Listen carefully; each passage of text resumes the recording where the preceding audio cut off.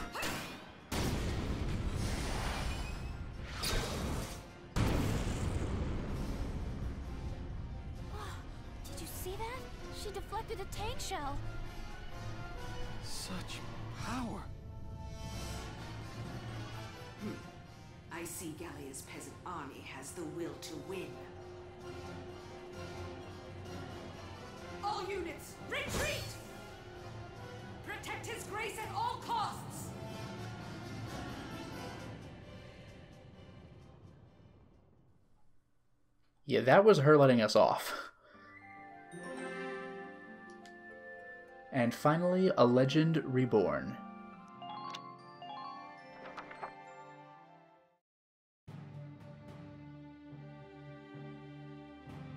We drove the Empire back, but not without sustaining heavy casualties ourselves. We never thought the commander of the entire Imperial force would be there. Not just the commander. Maximilian had that woman with him. What was she? I can't believe she's human. In her hands borne Cobalt lance and shield, therewith to strike down all man's arrows. What? One account of the Valkyrie describes them in those terms. You can't mean that she... She clearly has magic power, come on.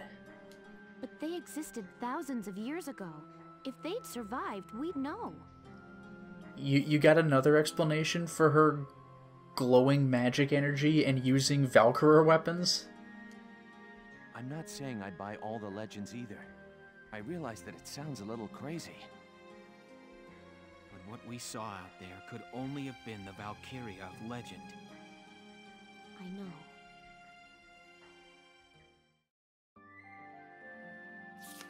Chapter 8 The Woodland Snare.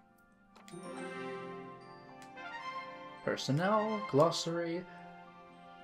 If this level is what I think it is, or if this chapter is what I think it is, then it's one of my least favorite levels in the game and has my probably single favorite cutscene in the entire game. But first, let's go to headquarters. That chapter will come at a later time. So, command room. New recruits. Nos. Bat back. But we got a scout. Is that it? No, Cesare. Oh, another sniper. And a sniper killer? Is he like an anti-sniper sniper? Boost and attack abilities, okay. Another racist, though. But he would have been nice in the previous level. He's desert bred. But this is really for evasion, so I didn't have my snipers in real danger anyway. Come back. But I did this just to pump my uh, personnel tab. War Cemetery.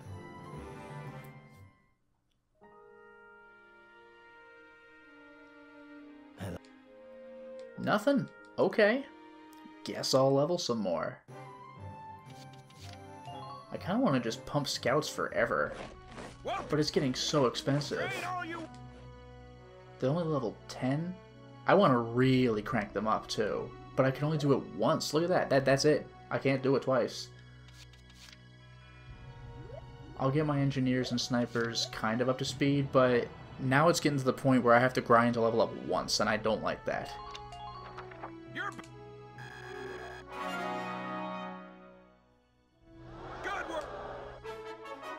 Oh, wait. Really? Class up. Upgrading your unit classes to elites adds a special bonus atop their normal growth. I forgot this was a thing.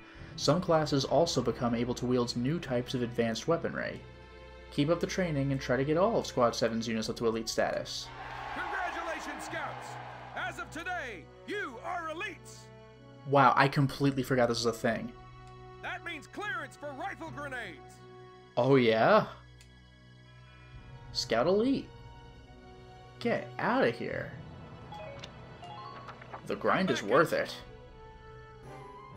Now we can spend some money at R&D, speaking of new types of weapons. Well, Outfit tanks first. Oh no, that's always... Yeah, it's uh, it's developing weapons that it has the tank parts that I may or may not use. Frame assembly. Superior HP. Reinforce that armor. Turret armor. Here you Spare tread 2. here you go. Yet now we have a problem. This is two bricks, so what am I going to do about it? I'll look into it once I build all my stuff. Drive system 3. Reinforced uh, leaf. Ah. and nothing. So, if I choose to actually... Oh, if I choose to actually outfit my tank, what am I going to change? So, spare belt, plus 50 HP, versus plus 125, so it's it's worth replacing. But the question is, what do I replace, right? And then we have reinforced leaf, tread defense plus 25 instead of plus 50, whereas these are plus 10, plus 15. I could just remove both of these, right? Because this is plus 10 and plus 15 for a total of 25, and this is just 25? Oh, so there's no real reason to have Leaf on then, because I could keep one of these on and maybe have room for the Idler, that kind of thing. I mean, these are horizontal as it turns out, but you see where we're going with this? In fact, I could do this. What if I put my coil spring in here? Now what do I remove? I could remove my... Yeah, plus 50 versus plus 125. I'll remove the plus 51, of course. Oh, oh, I see. But this is plus 75, so it's plus an additional 25. That's what it is. So the total is on the right. So straight up 75 versus the 50 that I had. Whereas this, I could simply move this, and now I can do the idler for a straight up upgrade at the slight cost of uh, tread defense. If I need to change things, then I'll change them. Anyway, let's develop some machines, some weapons. Nothing with the rifles, huh? But I can pump machine guns, firepower boost 3, and that's as far as I go. Anti-tank lances, I can power them up too. Firepower boost. Sniper rifles, nope. Grenades, you really gotta work at upgrading the grenades. Uniforms and blasters, we're out of luck. But I suppose scouts are now just equipped with rifle grenades, which is pretty cool. Come back. And now let's hit up... Yeah, Castle Front is it. Oh, and I couldn't. Rising Star, probably Ica. Uh, anyway, Militia routs Imp Commander. Central Gallian Command reports that a recent chance encounter with Maximilian, Imperial commander of the Gallian invasion near the ruins in Central Barious, ended in the Empire's defeat and retreat from the Badlands. Speaking with one Gallian soldier who fought in the desert operation revealed a shocking eyewitness account of one female soldier among the Empire's army batting a tank shell out of the air by brute force. Army doctors looked into the possibility of combat stress induced hallucination, but several other testimonies have arisen to corroborate this wild account. Not to mention Welkin and Alicia's own observation. Other reports suggest she resembled one of the Valkyrie of legend, while the Gallian army has issued no official statement on the matter. New lode in Gallian Southeast. Chief Valence of the Gallian Geological Survey reported recent discoveries of three new lodes of Ragnite amid the southeastern mountains. Imperial capture of the key cities in Ragnite-rich northern Gallia has meant a steady drain on domestic productivity.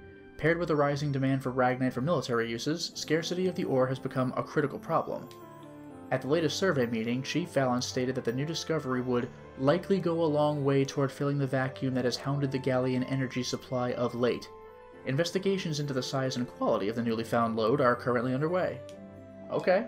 So, No new reports. come back. Let's get a load of our new updates then. Personal and weaponry. Or personnel. So, glossary. Oh boy, we got a bunch of new stuff. Barious Ruins Antechamber.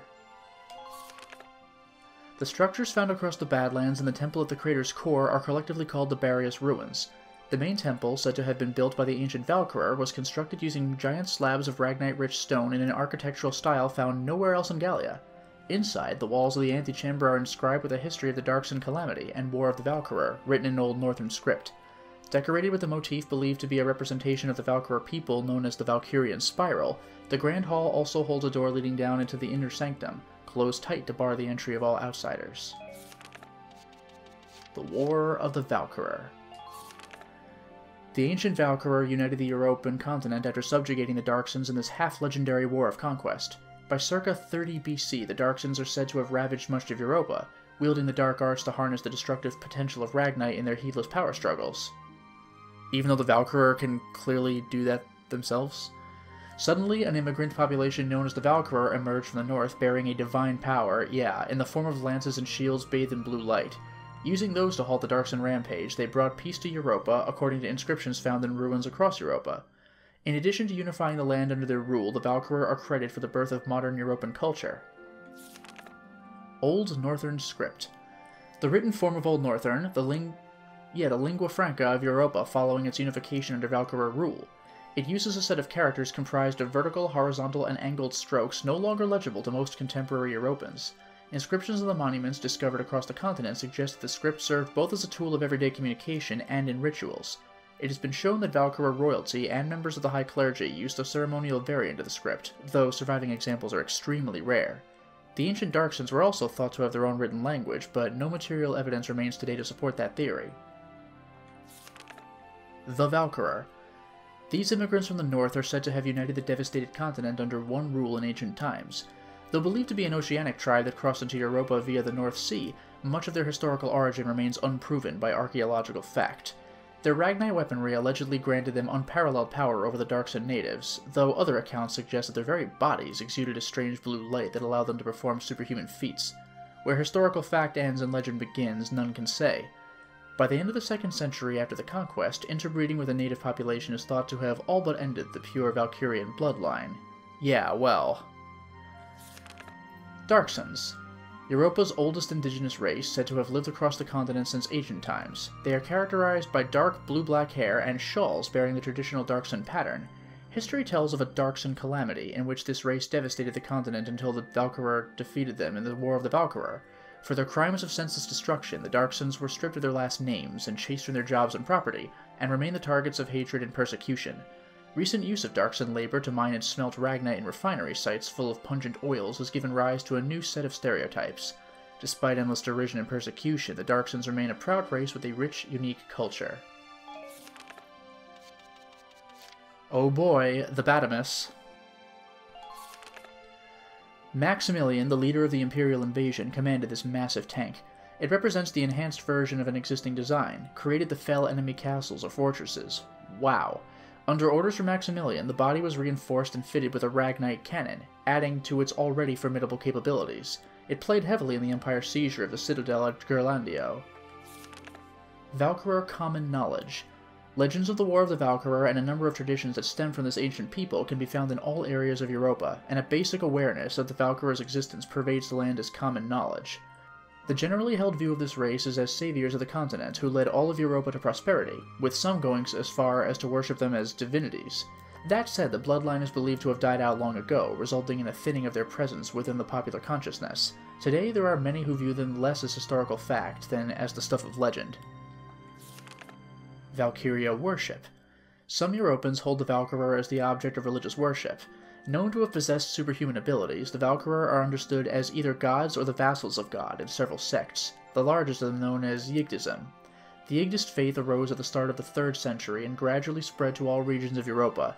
Its tenets hold that the Valkyrur were a race of gods, and its mythology draws heavily from the northern legends brought in during their conquest. Because beliefs had traditionally taken the form of popular superstitions tied closely to everyday practices, regional differences abound, blurring the lines between one sect and the next. And finally, the Lance and Shield. Unearthed from excavation sites across the continent, these weapons are thought to have been wielded by the Valkyrur. The shields are round, while the lances take the shape of a spiral shell, made from ragnite more pure than even current refining technology can produce.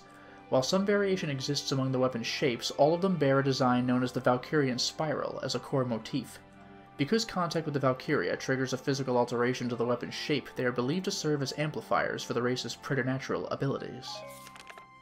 That's the glossary. Now for weaponry.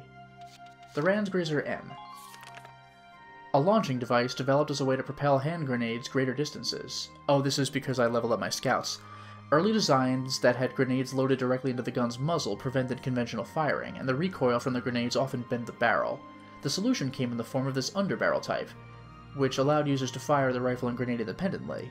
Built to be the crowning glory of the Gallian type rifles it affixed to, these grenades were named after Gallia's capital. Yeah, the Randgriz. Then we have personnel, and that'll be it. Oops, that's skirmishes, which I still haven't I haven't done that one. Isara, we got some more. The consistent prejudice she faced since childhood due to her Darcsen blood has fostered not bitterness, but respect for the brother who always stood up for her. Yeah, you can level up, well, level up. You can unlock more and more descriptors for various characters, but the main characters are plot activated. Also, I realized something from looking at a guide. Because permadeath exists, if I keep getting my characters killed, eventually the game will start randomly generating characters. Anyway, Largo. Reprimanded for the unlicensed planting of vegetables on army property, though the fruits of his labor earned accolades from foodies across the base, didn't we... Oh, the second paragraph, because the third one we did for the, the mission. Believing that frontline experience is everything, he has consistently rejected all offers of promotion and continued his career as a foot soldier. And Rosie. Despite her education, and with it her military training, ending at middle school level, experience with her town watch earned her the rank of corporal. Nos, the new guy. Like Alicia, he worked as a team captain in the Bruhl Town Watch. His hobbies include writing and performing songs. Cesare. Oh, Catherine leveled up. Okay. Always looking out for number one, he elected to become a sniper in order to keep himself safely removed from the front lines. Catherine. Ever since an ammo shortage left her to helplessly watch an ally get killed, she has felt extremely anxious without a loaded weapon close at hand. Maximilian. Said to grant opportunities to talented subordinates regardless of social rank, he is also known to ruthlessly dispose of anyone useless to his purposes. Interesting, so of all people who is not necessarily a classist, it's him, although his northern commander does appear to be. No comment on Selvaria, but the southern guy does not seem to be so, because I think he's from a lower upbringing. Selvaria. Undefeated since she began work as one of Maximilian's commanders, her forays into the nations around the Empire have struck with the force of a tidal wave. Yeah, I don't doubt that. And that's the personnel. There we are, so for now it is time to stop the installment. Well, we certainly made a lot of progress today, didn't we? We actually met Maximilian and Selvaria, probably the scariest characters in the entire game, and we managed to defeat Maximilian's giant Batomys, the seemingly unbeatable tank. We got him to retreat. The bad news is there was no way we were chasing him down with Selvaria in his defense. I don't know what we're supposed to do about her because she is seemingly unstoppable. But the good news is that we've done some upgrading of our own. Our scouts are now elites. Maybe we have a chance after all. Until next time, everyone.